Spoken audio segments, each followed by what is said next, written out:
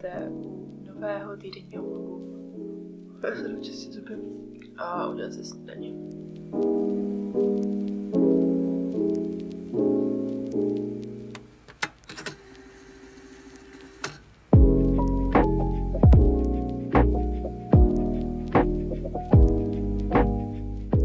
Předtím, než začnu jíst, tak vždycky vypiju skleničku vody. Už takový zvyk. A díky tomu dodržuju ty dva litry denně, což je fakt jako maximum, který zatím zvládnu pomalu. Dva a půl litru už ten pro mě docela dost. Jsem člověk, který potřebuje sednutí k tomu, aby přece jenom něco vypil. A teď moje snídaně, udělala jsem si klasicky jenom jogurt, nakrájela do toho banán. Banán nikdy nedokáže jíst samotný, nechápu. Prostě jako zvládnu ho jíst samotný, ale nechutná tak dobře, jako když si dáte do něčeho. Takže maximálně s ničím. A granolu. Jinak dneska do školy nemusím mít nic přichystaného, ani máme psát žádný test. A nevím, kdy se mi naposled stalo, že jsem šla do školy s tím, že jsem nemusela dělat nic den předem, jakože ani nemám naplánovaný žádný úkol, ani nic. Než jsem myslím, že budu psát z matiky. Protože tam píšeme jenom přepadovky. A nějak jako, když nic jiného, nemáme mít žádný domácí úkol, žádný rozhovor, prezentaci, tak musíme z něčeho psát.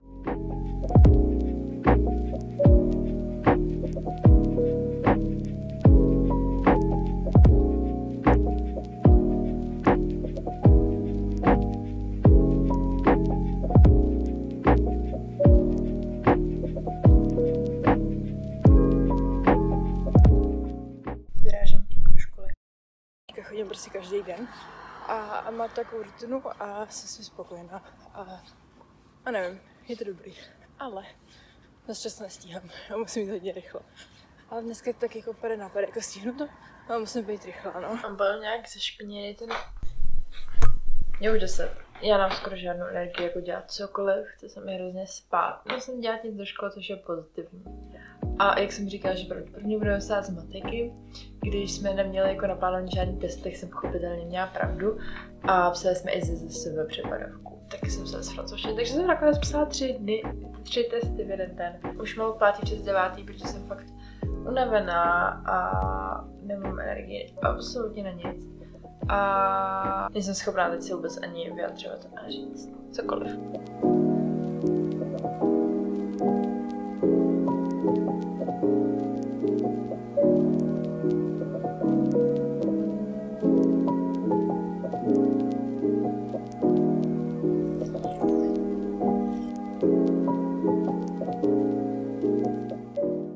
Dokončovala jsem tady, nebo říkám vždycky dokončovala jsem, ale já udělám třeba jednu, dvě stránky um, jednoho skrimku, který dělám pro mou nejlepší kamarádku.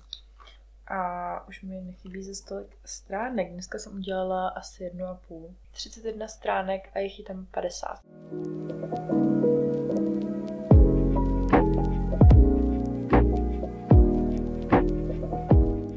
Dneska dodělám ještě brigádu, co jsem nestihla o víkendu. Včera neděle jsem to dělala, ale chtěla jsem prostě jít spát nějak rozumět. Doufám, že oceníte tady ty estetické záběry.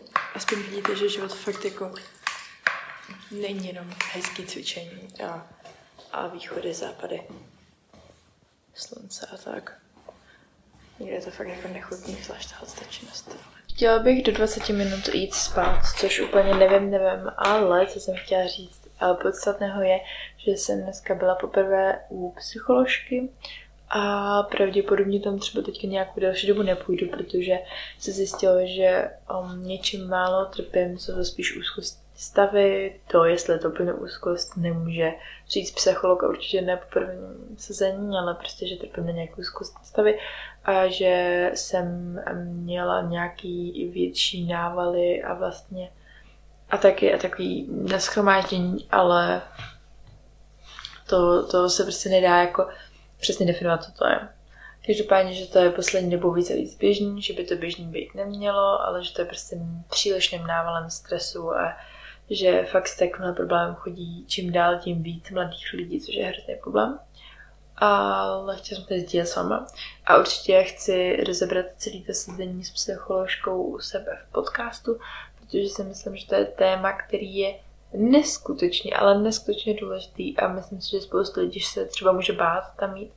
A pokud třeba nějaký projevy toho, že nemusí být úplně OK, a to nemyslím v tom smyslu, že s váma něco špatně, že máte psychické onemocnění, ale ani když máte psychické onemocnění, tak sama není špatně, pochopitelně. Ale i to, že se cítíte prostě jenom hůř, nevíte proč, nebo chcete se líp naučit ovládat svoje um, myšlenky podstatě nebo jako naučit se jim rozumět, tak určitě je fajn zajít za psycholožkou nebo za někým, se psychologem, který tomu bude rozumět, který vám poradí. A ona mi právě řekla, že bych měla hlavně zpomalit, nedělat tolik věcí a že bych měla víc spát. A Což já s ní souhlasím, jo, jako já s ní souhlasím, ale už bude za chvíli 11, za 20 minut a já jsem si mít ještě umýt, čistit zuby, jsem se prostě připravit ke spánku, ale zároveň jsem se měla protáhat kvůli protezům, pro, provazům a měla jsem poslat naší uh, trenérce. A sice jsem se ráno trochu protahovala, ale ne vyloženě do provazu a já vždycky mám jako pocit, že už je neudělám, že do toho nikdy nedosednu když se neprotahu pořádně, jako pořádně ten den každý.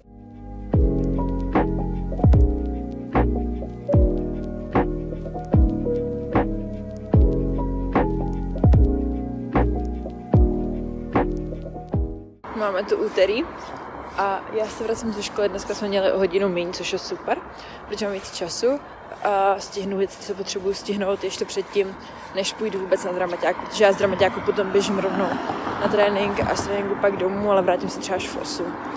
A potom se budu moc rovnou hned učit, protože zítra máme dva testy. Já jsem přišla ze školy právě domů. Tentokrát jsem šla jenom do školy pěšky, ale ze školy. A trošku jsem se poklidila v pokojíčku a teď půjdu hrát na kytaru asi na 15 minut. Pak uvidím, co dál. Chtěla jsem se protáhnout hlavně, protože prostě já se bavím, že ten provaz neudělám na tréninku, nebo že se spíš něco udělám, než ten provaz. A chci toho hrozně dosáhnout. Jako, měli jsme toho dosáhnout. Marka nám říkala, ať jo, prostě se fotky a tak dále, že se protahujem. A já, i když se protahuju, tak si prostě budem udělat ten provaz, protože se bavím, že si něco udělám. Já už taky půjdu. Mám tady sebou věci na trénink i dramaťák, musím si to vzít všechno sebou. Ukážu vám, mám tady takhle uh, na svačinu nějaký medový živý chlebíčky, tak jako 40 minut na přesun dramaťáků na trénink a v dopravních prostředcích nesmíte jíst a tak dále, takže to úplně nestíhám. Každopádně uh, beru si všechny věci a vyrážím, asi 4 minuty, 5 minut na to, dorazit ten dramaťák. Tady doma jsem stihla hrát na kytaru, no. To je asi všechno. Napsala jsem si uh, zápis do deníku, poklidila jsem si trochu stůl, tam jsem se zase zaneřádila a to je tak jako všechno. Dneska jsem tak hrozně v divném emočním rozpoložení, nevím, jestli to není po včerejší uh, terapii, te, terapii, nebo prostě jako, že byla jsem včera u psycholožky, tak nevím, jestli to souvisí s tím. Trénink, dramaťák, všechny dneska za mnou. Uh, potom, co jsem přišla domů, jsem se neučila, šla jsem si dát večeři.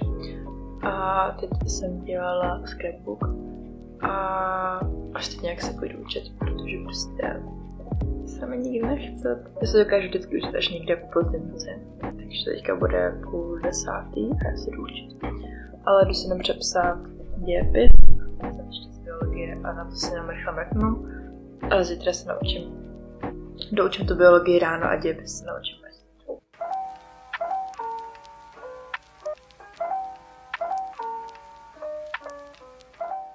Napsala jsem zatím tohle, ale je to celý jeden slide a těch slajdů tam jenom 13, což je fakt málo. Ono se to možná zdá jako dost, ale naše testy jsou většinou um, ještě víc obsáhlejší.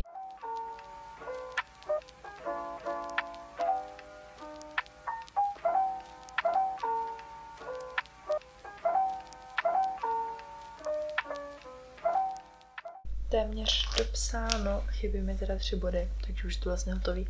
Akorát je půl dvanáctý, takže potom vlastně půjdu mít a potom hned půjdu zalehnout. Teda ještě předtím se jenom kouknu v rychlosti na biologii, abych vůbec věděla, čem to je, ale naučím se to zítra ráno. Do půlnoci jsem v posteli, což je dobrý. Teda jako není to ideální, ale není to příšerný. Jako na to, kolik jsem se to potřeba naučit, je to v pohodě. Jenom, abyste viděli, že všichni máme někdy horší dny. Já jsem nevím, mě prostě něco dostalo, osobní věci, nebudeme zmiňovat, ale už to jako trvá třeba půl hodiny a nejsem schopná nic udělat. My všichni vystupujeme na internetu, jako že jsme skvělí. To mi, to mi se předávat do nahrávání videa. Um, že všichni vystupujeme, že jsme fajn. A, a vlastně to tak působí. Já myslím, že tak nevystupujeme, že se snažíme ukázat takové momenty, ale vždycky to působí, že se máme skvěle, že nám nic není. Ale ono to tak úplně není a, a máme horší momenty každý. A prostě to stává. A jenom to, že to tolik nefiltrujeme ven, protože to jsou věci, které prostě Jo, jako mě teď napadlo pojít po půl hodině kameru, ale většinou vás jako nenapadne, si, jo, tak teď to půjdu natáčet, protože prostě chci a protože mám náladu. Ne, vy to takhle úplně jako, takhle to nefunguje. Hlavně mám, mám natáčet to, že půl hodiny nedělám nic, že jo, prostě jako a to se, se nějak vysvětlilo, tolik se to neukazuje, tak když ukazuju to, jak cvičím, tak to pochopitelně vypadá líp, dá se to líp popsat, vy to víc vidíte a víc to cítíte, takže asi takovým způsobem jsem to chtěla říct že jako je to normální. Všechno. Je normální, nebýt OK, je normální, nebýt normální, nebýt v pohodě. Ahoj všichni, vítejte u nové epizody podcastu Self World the Door a já se moc vítám. Jsme měli soutěž ve škole francouzských básníček a jinak jsme měli normálně pak vyučování od třetí hodiny, takže jsme preparovali včelu na laborkách. To bylo taky zajímavé zajímavá zkušenost, nepotřebuji to znovu. A pak už byla jenom čeština a výtvarka. Už takový pohodový eh, hodiny ve finále. A zítra nejdeme do školy, zítra jdeme do knihovny, budeme si jít na film, takže tam bude ještě nějaký kvíz o francouzštině, protože to je francouzský film a je teďka týden frankofony. Ale pak už můžeme jít v pohodě domů, to znamená, že já nic nedělám ve finále. Mám hrozný hlad, dám si svačinu. Asi první, co udělám, mám už před nějakou dobu. A budu u toho se dívat na nějaký YouTube video a udělám si nějaký pořádek ve fotkách. A já mám skvělý outfit, ale právě není, nesvítí sluníčko, dokonce dneska pršelo a má být docela hnusný. Tak uvidíme, jak to bude celkově o víkendu. Jdu si připravit věci na přednes a na trénink a půjdu si dát ještě nějakou svědčinu. Se jsem měla už jako první, co mamka dělala. Měla jsem hrušku, ale dám si ještě něco, protože mám prostě hlad a, a tak protože dneska jsme chtěla sníst celý oběd. Docela rychle jsme museli se najít.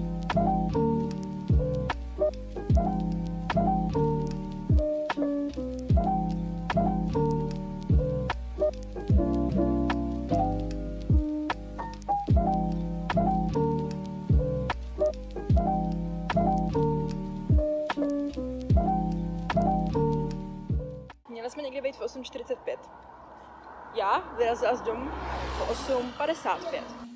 Už začalo jaro. Já jsem sice byla chvíli doma a hrála jsem Evelynku na kytaru, ale teď jdu vyzvednout jídlo, protože je sice doma, ale na home office, takže pochopitelně nestíhá vařit. Já jsem se vrátila domů před chvílí, takže teďka jdu vyzvednout jídlo. A tady kousek v kavárně, co máme. Nesu oběd, já si vždycky připadám jak main character, když nesu jídlo neustále přebíhám a nestíhám a furt se vracím domů. Už jsem byla na té poradě a nakonec tam ten pan investiční poradce nebyl, ale byla nějaká prostě paní, která mi pomohla a byla hrozně příjemná. Pak jsem se vrátila domů a teďka zase běžím na výtvarku a vždycky jako jsem doma třeba tak na 10 minut a nestihnu pořád něco dělat a je to úplně zbytečný.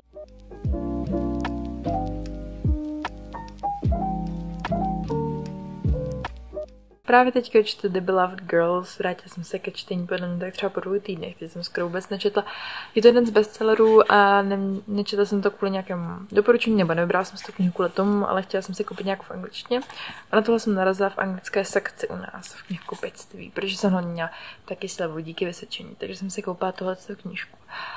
A, a zatím je to dobrý, je to takový mysteriózní a, a fajn, ale přečetla jsem tři kapitolu, tak nemůžu toho moc říct. Já bych vám moc ráda dala nějaký update, ale já jsem dělala takové ty klasické večerní, páteční činnosti, nebo nejenom páteční, ale opravdu takové ty, které nejsou nějak podstatné, jako čtení a dělala jsem něco málo do školy, jenom proto, abych to nemusela sedět průběhu víkendu a mohla se trošku odpočinout. ale nic s tím nebudu muset dělat, protože něco musíme odevzdat do neděle, ale vypracoval jsem asi jednu otázku, nebo aspoň část jedné otázky. Uh, táta s bráchou protože hrajou nějakou počítačovou hru. Trošku jsem pracovala na projektu, který děláme společně ještě s dvěma kamarádkama, takže uh, je to složitý. Každopádně jsem taky pracovala na scrapbooku, teď stříhám video, jsem, jsem se dívala na nějaké videa, um, takový pohodový, pohodový víkend chci nastavit a jedný, že bude taky pohodový. Takže tak, ale už je docela pozdě, takže já tady pravděpodobně nějak dostříhám třeba tohle video, dělám možná ještě něco málo, ale už se půjdu mít spát, i když si nemyslím zítra probouzet, tak by to chtělo spát toho co nejvíc, protože moc spánku přes víkend, přes týden nedostávám. Krásnou sobotu dopoledne jsme šli vyzvednout něco s tátou do Alzy a potom jsme nakoupili věci, jídlo a tak na rodinnou oslavu, která nás dneska čeká, protože brácha má zítra narozeniny. By pro ní nám ještě dárek. Ale mi jako říkám, že oni sam sem kupovat. Už jsem se ptala třeba jako před dvěma týdnama, jako jestli něco chce nebo něco potřeba tak. Protože pro ně je něco hrozně těžký sehnat, protože co dělá 90% času je, že hraje hry, ale chtěla bych mu něco sehnat. Pracovala jsem tady na takovém projektíku, hrozně nesnažím, když tohle kdokoliv říká, protože prostě proč prostě nemůžete říct, co ten projekt je, ale já vám to nemůžu fakt říct, takže se omlouvám, ale teď si půjdu zapsat uh, zápis do deníku a něco takového, hlavně jsem dneska docela unavená furt, i když jsem spala docela dlouho, ale prostě po tom celém týdnu uh, je to vyčerpávající.